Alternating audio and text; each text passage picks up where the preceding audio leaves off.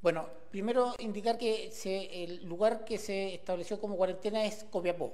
De eso se va a aislar y se, realizarán eh, controles o cordones sanitarios para controlar el perímetro. También se dispondrán controles para los centros de abastecimiento, ferias libres, lugares céntricos donde confluye mucha gente y se producen aglomeraciones. Esto va a estar controlado por policías, tanto carabineros, PDI, como también del ejército.